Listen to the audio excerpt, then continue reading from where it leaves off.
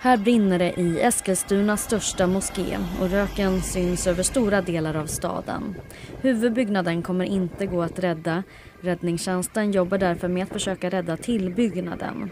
En förundersökning har inletts gällande mordbrand. Polisen kommer att utreda vad som kan ha orsakat branden. Polisen uppmanar också boende i området att stänga dörrar och fönster så röken inte kommer in. Ingen person ska ha skadats i samband med branden.